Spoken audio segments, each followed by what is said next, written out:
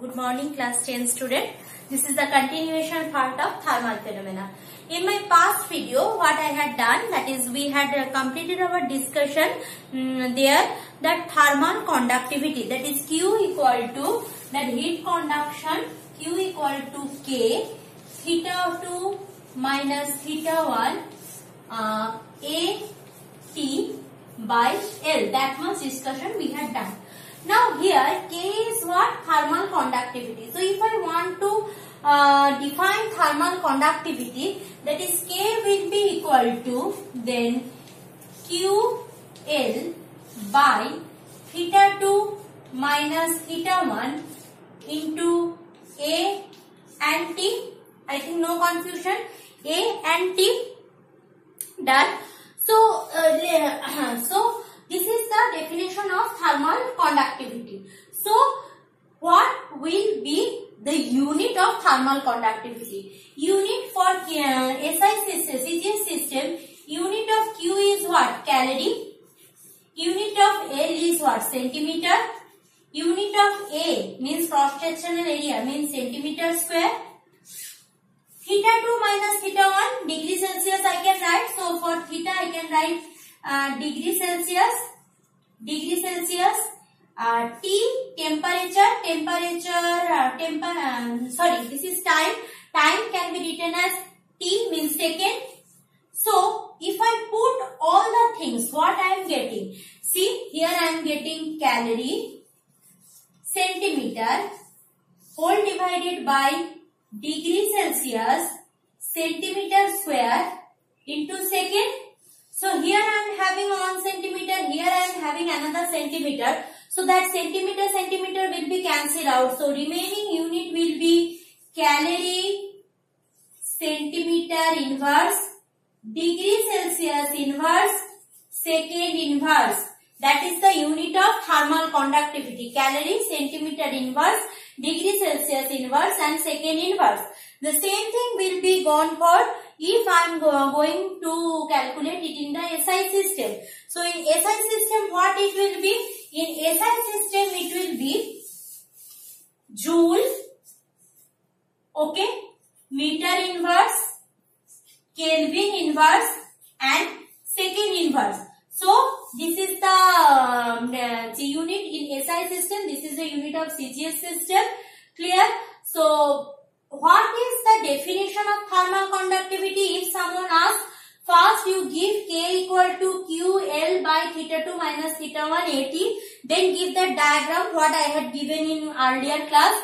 Then you will say that if uh, one, if I am taking unit block, unit block means same length, same breadth and same height. If I am taking unit block and uh, unit block and whose surface area is centimeter uh, unit square and length is unit square obviously then the amount of heat flow amount of heat flow from one part of the block to the next part of the block per second per second is the thermal conductivity. I had given this definition in copy also. You just have a look. Okay. So, definition is come if you write K equal to QL by theta 2 minus theta 1 into AT. That also enough. Otherwise, I am just showing. So, here L is expressed in what? Centimeter. 1 centimeter suppose. A is also in centimeter. Uh, square means a cube. Cube I am taking. Achha. Theta 2 minus theta 1 I am taking Kelvin. So theta is in Kelvin and time is in second. So if all I am putting what I am having K is just equal to Q. K is just equal to Q. So forget about these two. What are the remaining thing? These are the remaining thing. So what it will tell? If I am if uh, uh, in a one unit block heat is passes from one side of the block to another side, then the amount of heat passes for part degree, uh, part degree Kelvin uh, temperature difference. Amount of heat passes for part degree Kelvin temperature difference in 1 second is the thermal conductivity of the substance. Is the thermal conductivity of the substance. Clear? Now I am going to the very interesting phenomena. Already I, we had done that Ohm's law chapter means electricity magnetism. We have not forget I think. So from that concept we will relate something with the thermal conductivity. Let's go for that.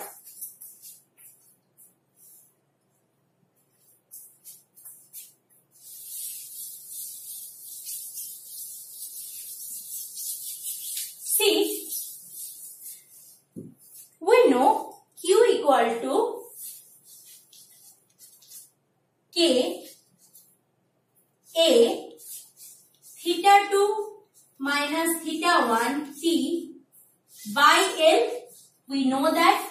Now if I am doing Q by T, so Q by T will be equal to K A theta 2 minus theta 1 by L.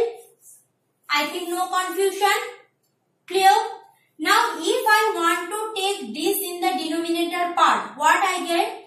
that is theta 2 minus theta 1 by I can write what 1 by k into L by A same thing in the denominator part so that is equal to Q by T so amount of heat transfer per unit time is this is my formula 1 now from Ohm's law what I know Ohm's law we know V2 minus V1 equal to R I V2 minus V1 equal to Ri. I am erasing the topmost part here.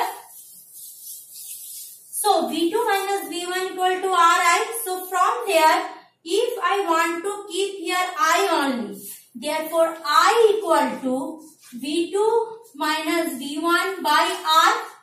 See, at the beginning of Ohm's law chapter or electricity magnetism chapter, I said that I means current flow means number of charge flows per unit time. So here it can be written as Q by T number of charge flow from one side of the conductor to the another side of the conductor per unit time. That can be written as V2 minus V1 by R. Now see the similarity. Give it equation number 2. See the similarity. In this case amount of heat transfer per unit time. Here amount of charge transfer per unit time. Clear? Here, this is called current flow. This is called heat flow. Clear? This is electrical energy. This is heat energy. Now that depends on what? That depends on temperature difference. Here it depends on potential difference. See the analogy? So obviously this factor 1 by k into L by A. This factor is just equal to the same role which plays by the resistance in a conducting well. So 1 by K into L by A plays the same roles in a heat conduction which is similar to the role which is placed by the um, resistance in a electrical conductor. So this that's why this is called R equal to L by K is called thermal resistance. R equal to L by Ka is called thermal resistance. So if I am asking you what is thermal resistance, remember thermal resistance R equal to L by Ka. This is called thermal resistance. Why this is the thermal resistance? I said you. So, uh, so that is the things. That's why it is thermal resistance. We know opposite of conductivity is called resistivity. Who is the conductivity here? K is the conductivity here. Clear. Now see when I am considering a block. So block means circum uh, cross sectional area and length is constant. So resistance is thermal resistivity is just the uh, reverse factor of 1 by k. Means if k is the conductivity 1 by k is thermal resistivity. This is thermal resistance and 1 by K is called thermal resistivity. Clear? So uh, I am going for few question answer from this thermal phenomena chapter. Let's go for that.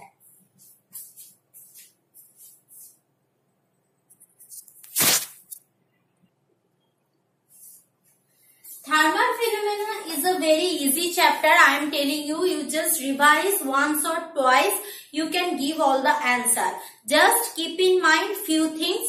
Be prepared for the huge calculation because your calculations is nearly about 10 to the power minus 12, 10 to the power 6, 8, this kind of things. And formulas are important. What are the formulas?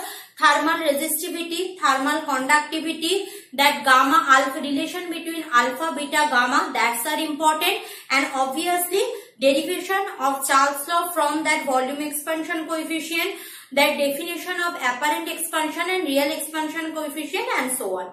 So going for the first question. If temperature of the topmost surface of a lake is 2 degrees Celsius, what is the temperature of the bottom? Repeating, if temperature of the topmost surface of a lake is 2 degrees Celsius, what is the temperature of the bottom? Now, uh, what is happening actually in a lake? This is the water. So, here temperature is 2 degrees Celsius. Clear? So, 2 degrees Celsius is less than and more or more than 4 degrees of Celsius Obviously, it is less than 4 degrees Celsius. We know at 4 degrees Celsius, water has maximum density. So, when this portion's uh, water is 4 degrees Celsius, it is huge dense. So, that will come in the bottom part. So, it is 4 degrees Celsius. Now, see at 4 degrees Celsius, the temperature uh, density of the lake is maximum. So, at the bottom level of the lake is at 4 degrees Celsius. Then, it is at 2 degrees Celsius. Then, obviously, this is near about 3 degrees Celsius because either slowly, slowly temperature goes on increasing or slowly, slowly temperature goes on decreasing. So, means what? Whatever may be that, here is the 4 degrees Celsius means maximum dense and maximum heavy. Clear? So obviously bottom part of the lake will be at 4 degrees Celsius. Why? Because right now it is 2 degrees Celsius. 2 degrees Celsius means less dense than 4 degrees Celsius. Clear? 2 degrees Celsius less than 4 degrees Celsius. So obviously the bottom part has no temperature exchange because it is 2 degrees Celsius, 4 degrees Celsius. So what is happening? it will be remain at 4 degrees Celsius because it is a lake no temperature exchange from the no temperature exchange occurred from the bottom surface and topmost is 2 degrees Celsius means it will not come in the bottom part. We know temperature exchange in case of liquid only can done by the molecular own movement. So these molecules won't be able to move here how it will be at 2 degrees Celsius. So obviously if you see the question like that, the topmost portion is less than 4 degrees. So keep your eyes closed. Just write the bottom part of the lake is 4 degrees Celsius. It is written here also at 4 degrees Celsius. The water has the maximum density and is very heavy obviously. For deep lake, no heat sources and no movement. The temperature at the bottom will be at 4 degrees Celsius See matter is at the bottom or ordered from top to bottom by increasing density. So at the bottom temperature will be remain 4 degrees Celsius. Heavy part will be at the bottom. So obviously the lower part is at 4 degrees Celsius that will be in bottom. Now coming for the next question. What is the this is not worksheet telling. This is thus the question answer part what we are used to do during after completion of a chapter. So what is the SI unit of coefficient of volume expansion? What will be that? SI means Kelvin. Volume expansion coefficient obviously Kelvin inverse. Kelvin inverse will be the answer. Acha. Next, the coefficient of volume expansion of a gas is 1 by 273 per Kelvin. Explain the statement. Repeating, the coefficient of volume expansion of a gas is 1 by 273 per Kelvin. What is the, explain the statement. Means what? If you increase the temperature per Kelvin, the volume will be changed. How much? Multiplication of 1 by 273. Clear? What is the SI unit of thermal conductivity? Just in this class we had done. Just go through the classwork copy. It is written here also. Achha, next question. Which one of the real and apparent expansion coefficient of liquid is the characteristics of liquid and why? Tell me. We know apparent expansion means what? First, the envelope of the container goes on increasing. So, in previous class we had done if this is my container first this container will be expand. So when the container will be expand the liquid level drops a little bit then the liquid level start increasing. So when the liquid level start increasing clear so this is my real expansion means this real expansion depends on liquid not the apparent expansion because apparent expansion is not true. First of all, apparent expansion is not true. That is the confusion of our brain. Because why? Because we can't visualize the interchange between that volume expansion, decrease of the level, then again expansion. We can't see. That's why there is a term which is called apparent expansion. But actually real expansion is depends on what? The property of the liquid. You are using mercury, you are using bromine water, you are using simply water. Depends on that real expansion occurred. So real expansion is the characteristics of liquid because it depends on the type of liquid. Clear? It is the characteristics of liquid. Next one, if the coefficient of volume expansion of iron is 3.6 into 10 to the power 5 minus 5 per degree Celsius so coefficient of volume expansion of iron given what? 3.6 into 10 to the power minus 5 per degree Celsius. 3.6 into 10 to the power minus 5 per degree Celsius. What will be the coefficient of superficial expansion? Acha, we know that relation between alpha, beta, gamma. Alpha equal to alpha equal to beta by 2 equal to gamma by 3. Here what is given? Gamma given. I need to calculate beta. So I will utilize only this portion of that equation. That is, we know beta by 2 equal to gamma by 3. So beta equal to 2 third of gamma. Put other value, this one. That is 2 by 3 into 3.6 into 10 to the power minus 6. Eliminate this point. I will get a 0 over here. 12. So 24 into 10 to the power minus 6 my answer. So by that way you will solve it. If gamma is given you need alpha means alpha equal to gamma by 3 equation you will uh, need and if suppose alpha given need beta need gamma so any one equation or either any three equation you need to uh, use depending on the numerical problem. Clear? Now going for the next one. By which process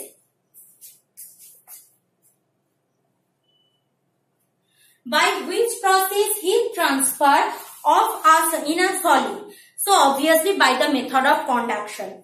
Next one, state the relation between linear expansion, superficial expansion and volume expansion of solid means alpha equal to beta by 2 equal to gamma by 3. I think no confusion.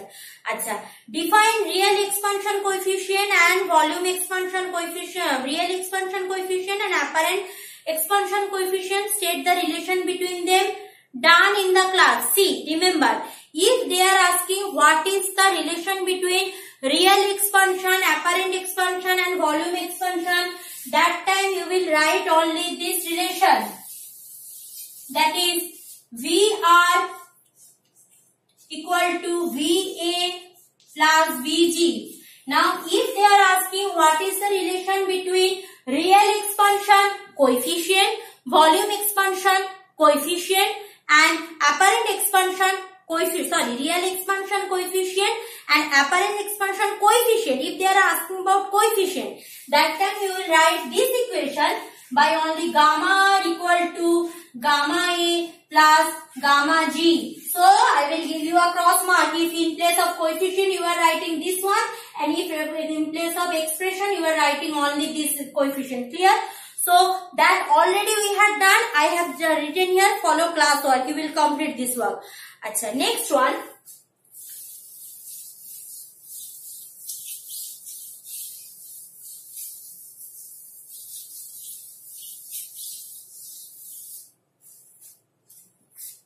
In my next video, I will go further question answer part. Thank you.